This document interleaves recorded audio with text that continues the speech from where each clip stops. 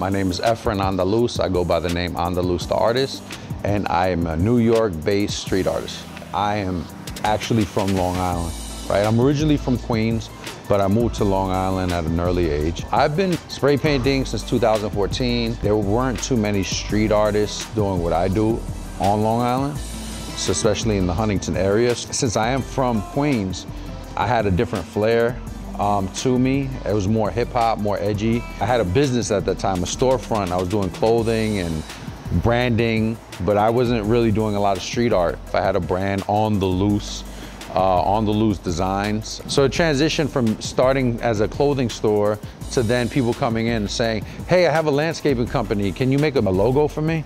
And then I'm like, yeah, could, of course. And then it went from that to like screen printing t-shirts for clients and then they're like hey we also open a business. We need a website. Do you do that? And i didn't know how to do any of this stuff.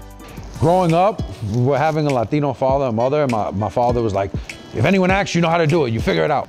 I figured out everything. The biggest influences in my life for my artwork would be my parents. My mother's Dominican and my father's Ecuadorian. I have videos of me when I was a little, little kid saying that I wanted to be a doctor and I wanted to be all this, which I didn't want, but I think your parents kind of try to instill that in you and say, hey, you should be a doctor or a lawyer. Even as a kid, I was always uh, coloring and coloring books and sketching, and they supported me. But they would always tell me, especially my father, like, there's no money in art, you know that, right?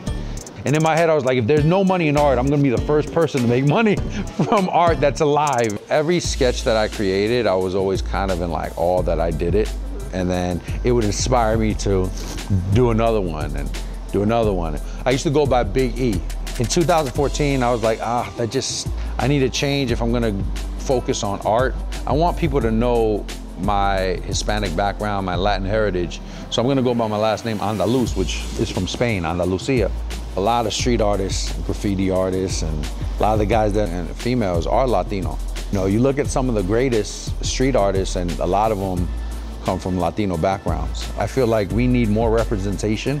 Being Latino means being well-rounded. Being Latino is being the world, right? Because we're so mixed. You know, to me, they're we're the best artists in the world. My Pokemon wall that I painted um, in Greenlawn, Huntington, Long Island, that was my first viral mural. And that was like the start of Andaluz, the artist. As soon as I sign my name at the end, Andaluz, you know, oh, this is uh, uh, you know, Spanish last name, it's Hispanic, Latino last name. So when you see the art, this is the artist, you know I'm Latino. I want a lot of other Latinos, Hispanics to look at it and say, wow, I can't believe someone that looks like me did this and created this.